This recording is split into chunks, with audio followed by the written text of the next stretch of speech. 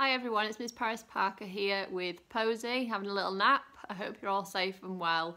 Um, in today's video I'm going to show you how to create some artwork using dried flowers. So first I'll show you how to dry the flowers and then I'll show you what you can do with them to make some nice little decorations for around your house or maybe a birthday card. So the first thing you need to do is pick a few flowers. These are just a few out of my garden. Um, if you're lucky enough to have a garden, then see what you've got in there. If not, maybe go for a little walk, see what you can find. Then you're going to need two microwave safe plates. Just double check with whoever owns the plates that they are microwave safe.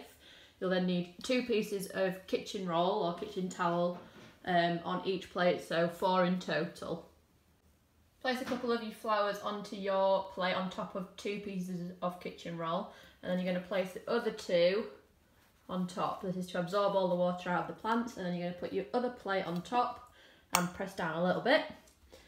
We're then going to pop this in the microwave for one minute. So I'm popping my plate in the microwave so all my flowers are sandwiched in there for one minute. This should dry them out and we'll see what they look like when they come out. Right, one minute's up.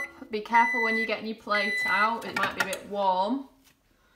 And let's reveal what they look like. Hopefully they're nice and dry.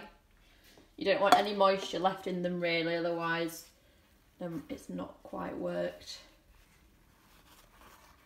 Uh, they're stuck to the paper, which is fine.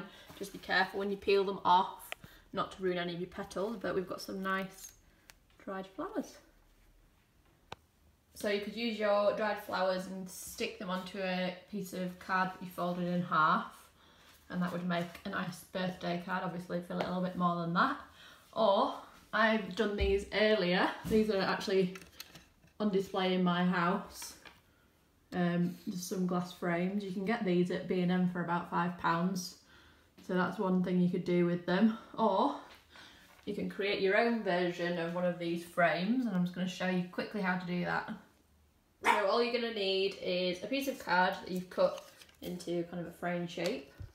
You're going to need two pieces of cling film that are just a bit smaller than this frame and some tape. So the first thing I'm going to do is I'm going to tape one of these pieces of cling film onto the back of this. So I've taped that first piece of cling film down. It should be fairly tight so that you can't really see any wrinkles from the front.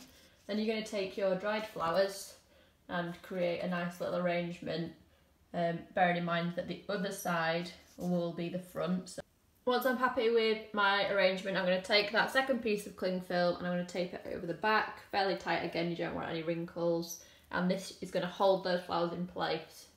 So I've taken my second piece of cling film on, so now everything should be staying in place, and that's how it looks from the front.